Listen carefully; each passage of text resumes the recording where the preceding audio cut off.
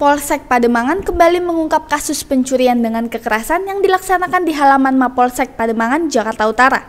Berdasarkan laporan para pelaku melakukan kejahatannya dengan modus memepet korban dan kemudian mengancam serta merampas sepeda motor milik korban.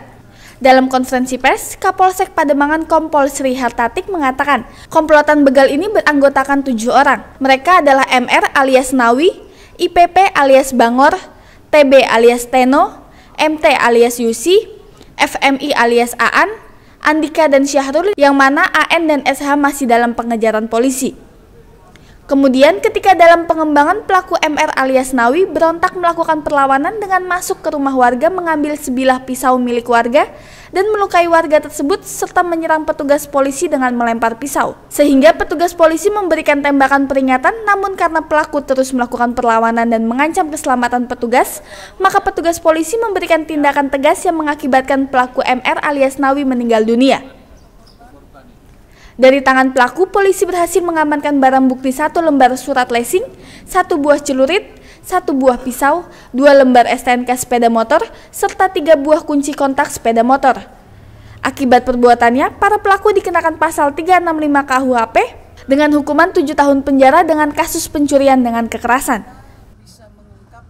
Hari ini rekan-rekan kita bisa mengungkap kasus begal yang sering marak kejahatan di masyarakat kita menangkap uh, tersangka yang melakukan kejahatan membegal uh, para korban di di jalan-jalan. Khususnya ini yang kita proses adalah di wilayah kita Pademangan. Ada tiga kali mereka melakukan uh, kejahatan kekerasan dengan melukai korban uh, ditendang dibacok dan seterusnya.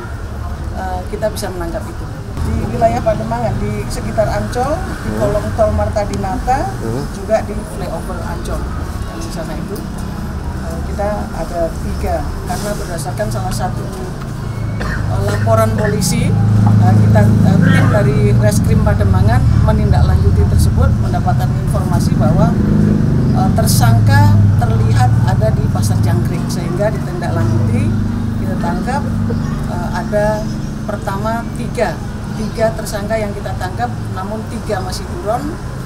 Akhirnya kita kembangkan lagi satu lagi tertangkap.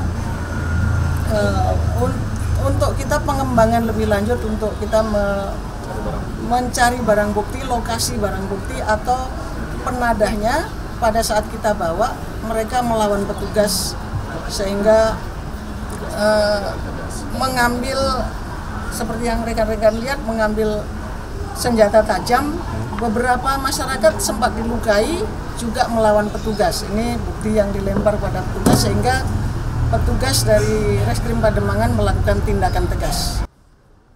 Dari Jakarta, tim liputan Cibrata TV, salam Cibrata.